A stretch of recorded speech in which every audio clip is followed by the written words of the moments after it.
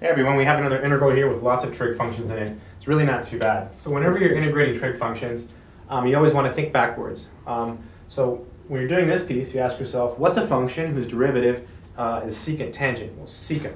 So the secant of y, that's going to that's gonna come from this piece. Because if you take the derivative of secant, you get secant tangent. What about cosecant squared? Well, the derivative of cotangent is negative cosecant squared, right?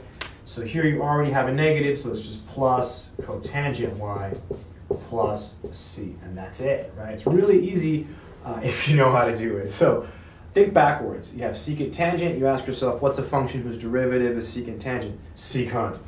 You have a cosecant uh, squared, so what's a function whose derivative is something with cosecant squared?